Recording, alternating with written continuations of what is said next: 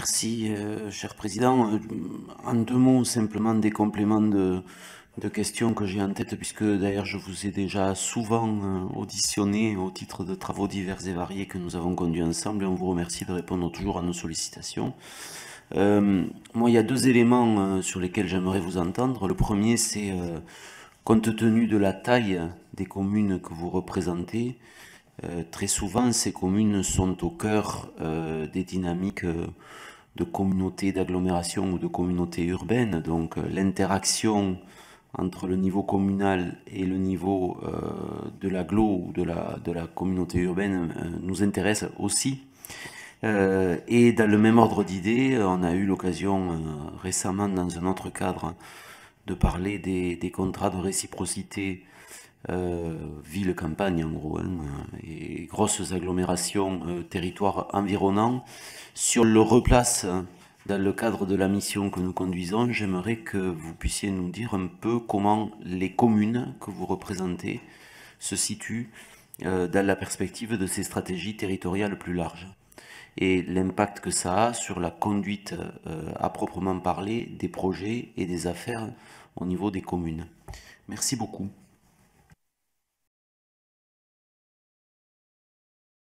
Euh, déjà peut-être une petite introduction sur euh, d'où on parle en fait. Hein. Quand vous parlez de la place de la commune dans des intercommunalités, les membres de France urbaine sont euh, historiquement ceux qui, dans leur grande majorité, sont en intercommunalité depuis le plus longtemps. Le noyau dur de ce petit groupe, ce sont des communautés urbaines qui, pour certaines, sont devenues métropoles revenir sur ce que ça signifie, qui sont communautés urbaines depuis la fin des années 60. Hein. Les premières, c'est 68. Ils sont en train de fêter euh, bientôt leurs 60 ans, euh, enfin, 50 ans et 60 ans d'intercommunalité. Donc, c'est vrai que euh, cet historique-là est important et au fur et à mesure du temps, de plus en plus de territoires urbains se sont organisés en communauté urbaine puis en métropole. La grande différence, euh, ce type d'intercommunauté, c'est qu'elle euh, est beaucoup plus exigeante en termes d'intégration de compétences. C'est-à-dire qu'il y a un certain nombre de questions euh, qui ne se posent pas lorsqu'on est en communauté urbaine. Je prends un exemple parce que c'est toujours des, des, questions compliquées lorsqu'on est en comité de commune, voire en comité d'agglomération. La question de la voirie, par exemple. Il n'y a pas de voirie d'intérêt communautaire dans une communauté urbaine ou dans une métropole toute la voirie, elle est euh, intercommunale, y compris maintenant d'ailleurs pour les métropoles, la voirie départementale.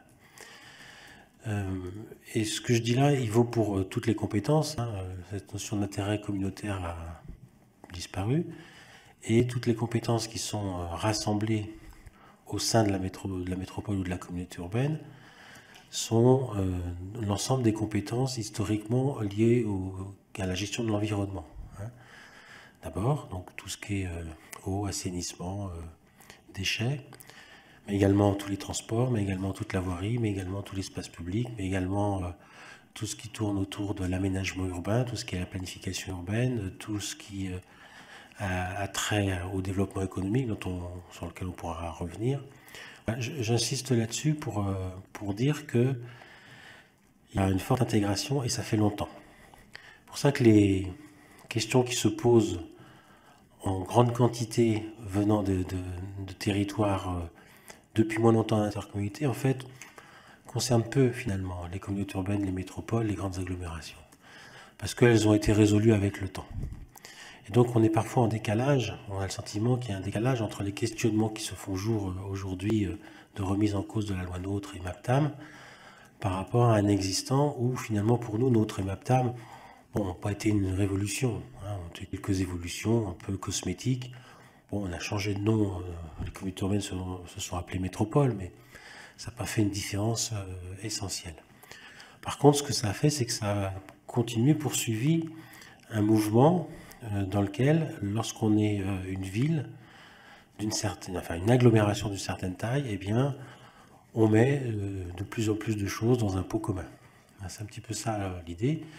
Et donc il y a effectivement de plus en plus de communautés urbaines et de métropoles parce qu'on a simplement abaissé les seuils de population à partir desquels on pouvait être communauté urbaine et métropole. Euh, malgré cela, la question de la relation à la commune est une question permanente hein, dans, la, au, sein des, grandes agglomérations, des grandes agglomérations françaises. Et ce d'autant plus que, si on fait le décompte, hein, on a pour les zones urbaines qui sont représentées par France Urbaine, on a 2000 euh, communes. Mais plus de la moitié sont des communes rurales, en fait. Hein. ce qui n'est pas vraiment connu. Euh, quand vous êtes à Lille, quand vous avez 90 communes, euh, il y a beaucoup de communes rurales. Hein. Y en a beaucoup qui font moins de 2000 habitants. quand vous êtes à Nice, hein, je ne sais pas si vous connaissez la géographie de la métropole de Nice, mais ça va jusque dans les stations de montagne. donc il y a beaucoup de, ruralité à l'intérieur de la, métropole. Réaction à, votre remarque là sur la vocation de maire ou d'élu, en tout cas, je crois qu'effectivement, euh, le, problème qui va se poser euh, à un an de maintenant des, échéances, c'est plutôt dans les territoires, euh, alors moins densément peuplés, ce qui signifie aussi, ça, suscite une question chez moi, Pouvez-vous nous dire euh, qu'est-ce que vous pensez des facilités euh, de l'environnement plus favorable qu'il y aurait à exercer un mandat de maire dans une grosse collectivité?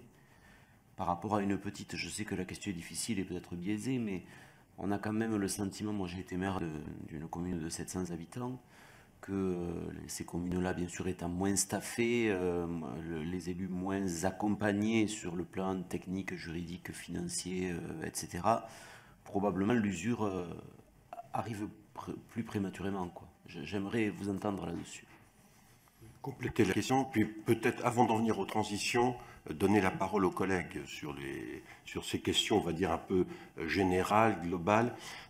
quand, vous nous dites sur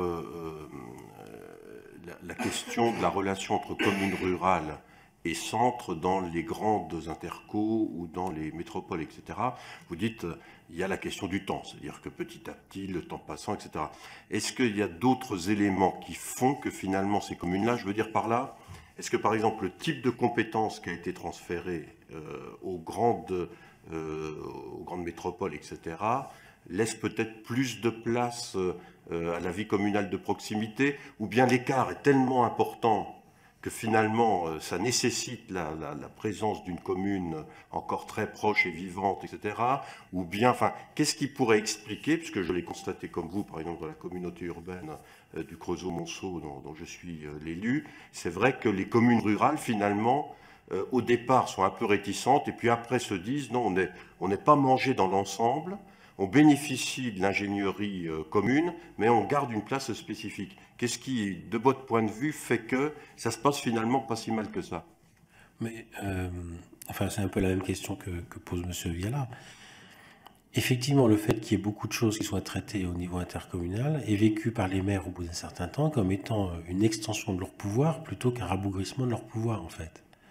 C'est comme ça que les maires le voient dans les grandes agglomérations. Et au bout d'un certain temps, vous leur posez la question, ils ne veulent pas en sortir de l'agglomération je fais souvent ce, sous forme de blague quand on entend dire euh, que le squelette de la France, c'est la commune, le département et l'État.